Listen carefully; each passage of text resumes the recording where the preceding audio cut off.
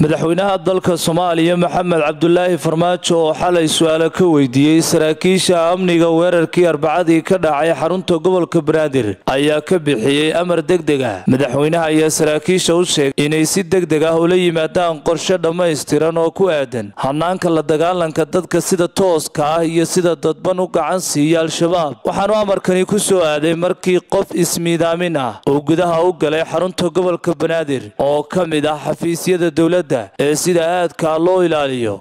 Waxaa haatan soo gabagaboobay kulan madaxweynaha jamhuuriyadda federaalk soomaaliya mudane maxamed cabdulahi farmaajo uu isugu yeeray hay'adaha amniga iyo wasaaradaha ka shaqeeya iyo sidoo kale guddiyadii loo xilsaaray dhacdadii shalay foosha xumeed ee ka dhacday dowladda hoose kaasoo lagu laayay qaar ka mid a guddoomiyayaasha degmooyinka iyo howlwadeenada maamulka gobolka banaadir ayna ku dhaawacmeen dad uu ka mid yahay guddoomiyaha gobolka banaadir ahna duqa muqdisho.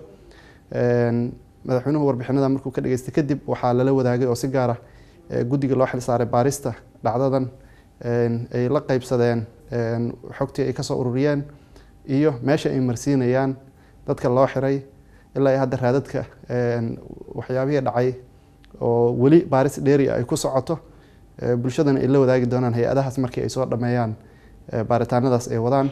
Ugu dambeyntiina madaxweynaha jamhuuriyadda federaalk soomaaliya wuxuu faray xukuumadda inay la timaado hanaan lagula dagaalamaya dadka gacanta siiya argagixisada iyo ficladooda guracan kuwa dhaqaalaha ku bixiya kuwa xogaha siiya. Waxaana xukuumadda laga sugayaa sida ugu dhaqsiyaha badan. In maalmaha soo socda ay arrintaa uga fariisato suuragal maaha inay nagu dhex jiraan. Kuwa dadka soomaaliyeed qarxinaya ee hooyooyinka gablaminaya dhalinyarada maalin walba dilka ku haya inay nagu dhex jiraan dad gacan gacan siinaya. Ma aha waxaan u dulqaadan doonno. Waxaana waxaana xukuumadda laga filayaa inay la timaado siyaasado iyo hanaan lagula dagaalami karo.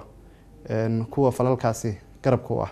Dhacdadan ayaa dhalisay in su'aalo badan la iska weydiiyo baadhitaanada ayaa socda ilaa arbacadii iyo ilaa hadda. Ayaan faahfaahin laga bixinin. Mana jirto warbixin ka soo baxa eedaha ammaanka oo lagu faafiyey sida uu weerarku u dhacay. Madaxda amniga gobolka ayaa waraysi u bixiyey ku sheegay inuu jiro shaki uu ku aadan gudaha xarunta gobolka. In laga hagayay qofka isku qarxiyey gudaha howl uu shir uga socday. Mas'uuliyiinta gobolka al-shabaab ayaa sheegtay mas'uuliyadda weerarka iyadoo marka ku sheegaysa baaritaankeeda wakiilka qaramada midoobay oo saacado ka hor xilliga weerarka ka baxay xarunta gobolka banaadir. Axmed daahir nuux nasabka wararka star t v